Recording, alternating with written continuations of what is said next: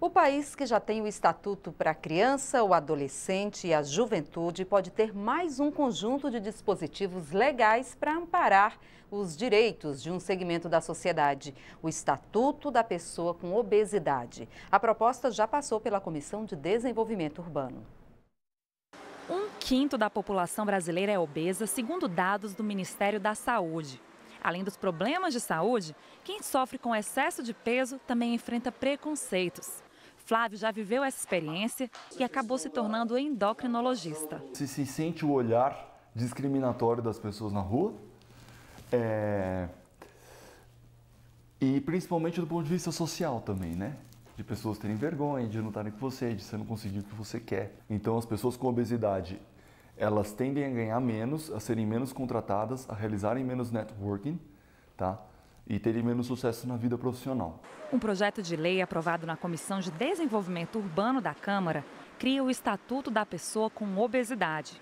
O texto prevê acesso integral ao SUS, por exemplo, com fornecimento gratuito de medicamentos, especialmente os de uso continuado, e programas de reeducação alimentar.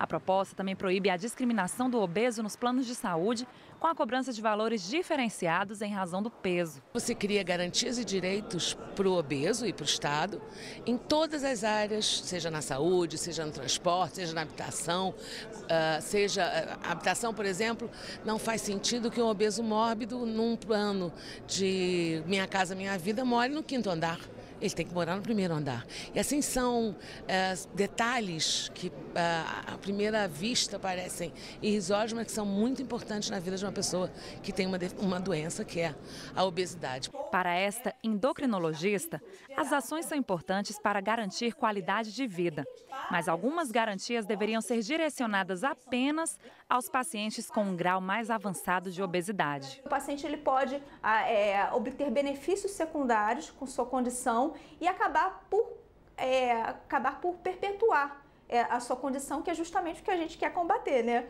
Que, é que, diminua, que diminua a obesidade para que diminua as doenças associadas com a obesidade.